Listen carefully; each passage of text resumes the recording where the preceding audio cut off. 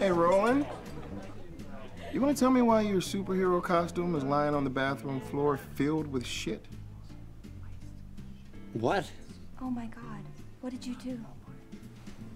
I didn't do anything. You shit your pants, and then you took a shower, and you just left your costume lying on the floor, didn't you? Did not? Roland, that is disgusting. Wait, whoa, wait a minute. Look, let me explain.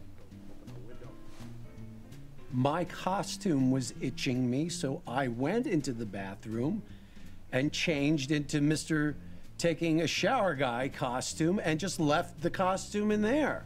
Well, why is there shit all over the washcloths, too? The washcloths are just for show. Those are brand new washcloths. The only thing I can guess is somebody else must have gone into the bathroom, put my costume on, shit in it, and left it there.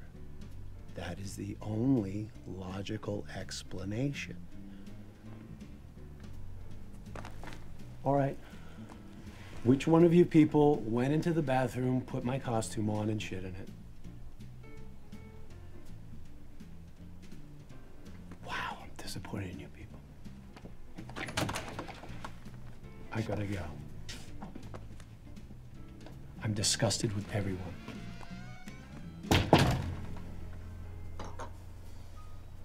Who do you think it was? So, what did you think of Molly? Oh, what a nightmare. God, I mean, yeah, she's attractive and smart and funny.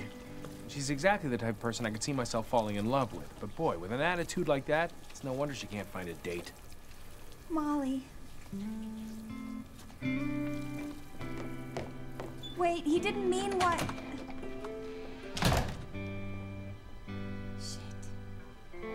So it wasn't love at first sight, was it? Are you really asking us that? Are you not listening to the story? No, I'm sorry. No, I'm. Forget it. Anyway, after that debacle, I assumed I'd never see him again. But then, a few days later, I was browsing in my favorite used bookshop, and guess who was there? Who? Joel. Hmm. Wanda, that's him. That's the jerk that I met at Bob and Brenda's Halloween party. Oh, lordy. Ooh, this could get ugly. Hey, Hi. Howdy. Hi. Again? What are you doing here? what am I doing here? Um, looking for a book. What are you doing here? I'm a regular here. Yeah, regular beanbag. You know, maybe you'd feel more comfortable in a corporate mega bookstore chain like Bram's and Nurbles. Why don't you just calm down? Don't tell me to calm down. What if I don't want to calm down? Stop trying to fix me. Okay, I'm going to step out of the crossfire here. Yeah, me too. Look, Missy, my brother and I are here to buy something for our bubby. Oh, you're.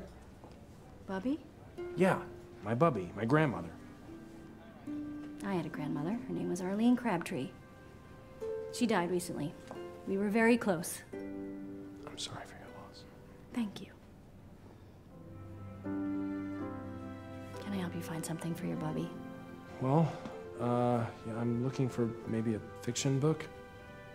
You like fiction books? Hey, just because I work for a big corporation doesn't mean I don't like fiction books. In fact, fiction books is one of my favorite kinds of books. You have to be kidding me. Do you, do you like fiction? Like it? I tried, love it. Oh my, I, mean- that's crazy. I, I, I mean, I've never met anyone else who likes fiction. That is too funny. That is literally too funny.